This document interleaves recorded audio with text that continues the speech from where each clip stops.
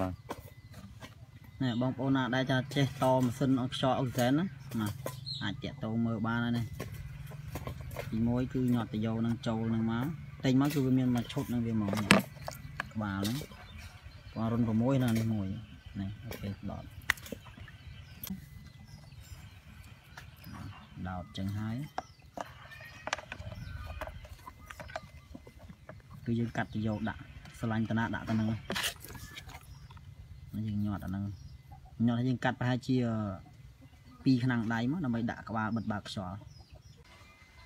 ហ្នឹងគឺយើងតយកបែបហ្នឹងមកគឺយើងដាក់ក្បាលវ៉ានបានហើយ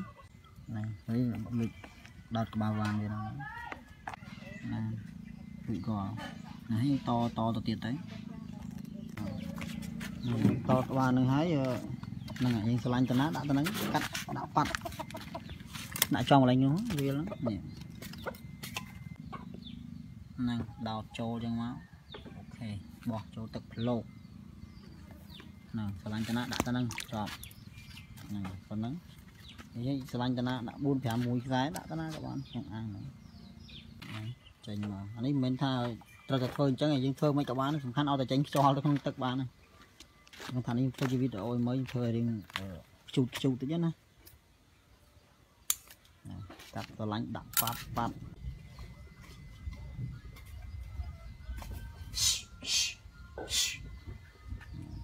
ហើយមួយពីរបាទហ្នឹង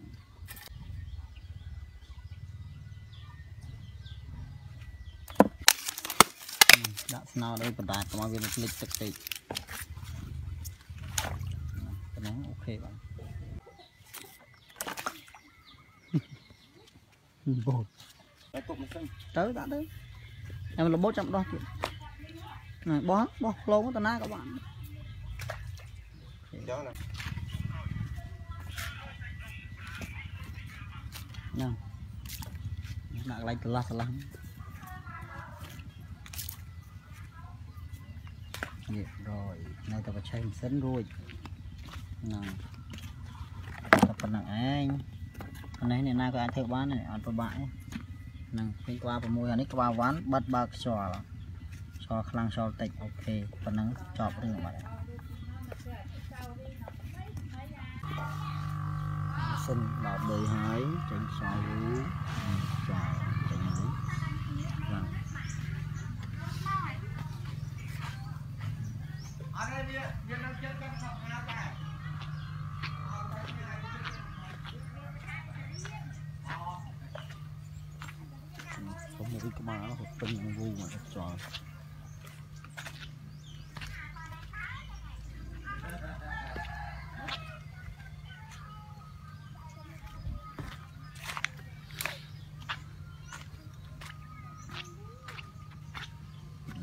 ខ្យល់ខ្លាំងណាស់